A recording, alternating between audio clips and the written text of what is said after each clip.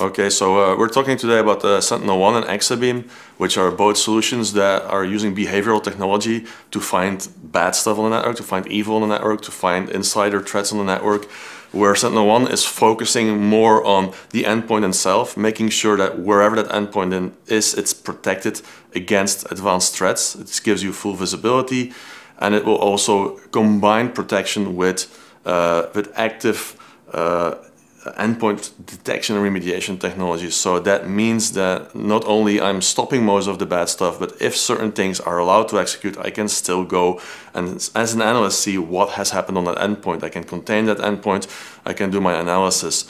Where the thing that's really interesting is where uh, we're getting all these logs that are also generated by, by SentinelOne we're also getting logs from other sources, which SentinelOne might not be doing anything with, but where Exabeam gets into the picture because they are going to holistically look at all of the stuff that's happening on the network, who is authenticating where, what does the SentinelOne see, that we see any kind of process executions that are strange. And we're putting all this information into uh, the machine learning engine that, that Exabeam has, and that is then going to give me a time, an automated, automated timeline that helps me as an analyst really get the full picture. Where did this stuff come from? What did it do on the endpoint? Which process is executed? Uh, what did I see on my firewall? And trying to kind of combine this information with machine learning instead of having to need static correlation rules is a, a very powerful way of getting to, to see the, the, the full picture.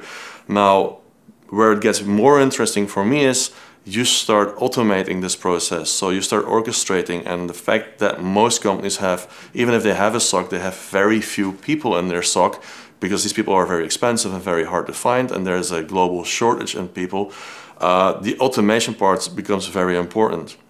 So whether it's SentinelOne that detects something or on the other side it's Exabeam that finds something through other sources like DNS or proxy or firewall or authentication logs, one can trigger the other by saying, well, hey, I found this thing here. Now, you know, with my API, I'm going to talk to SentinelOne's API and tell SentinelOne one quarantine that endpoint and maybe do some automated actions like pick up that, that file that was flagged as suspicious or let's have a look at the processes that are running. And now I'm not only automating, I'm also getting very consistent uh, execution of whatever playbook I'm doing. I'm not having the human in there to do the those kind of actions. So the analyst gets the output and can do his job and just analyze actually the facts that have happened. And I think this is where the next few years, the real, uh, the, the future is going to be. It's like getting these kind of new technologies working together and letting the experts focus on their job instead of tuning systems and gathering information manually.